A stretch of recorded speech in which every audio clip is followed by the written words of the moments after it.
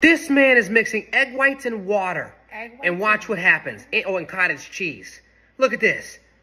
Comes out bread. No. It Healthy, Does not. fluffy bread. It does not. We're about to find out.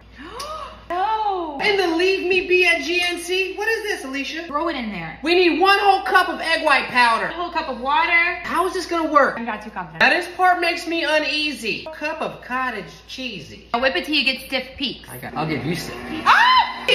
Getting thicker. It's like me in the wintertime. It's getting thicker. Oh my God, it's actually working. Oh my god, look at whipped cream. Look how stiff it's getting. Is that the stiffest thing you've ever seen? Yes. What? No. Wow. Make it 250 for 30 minutes. Perfect.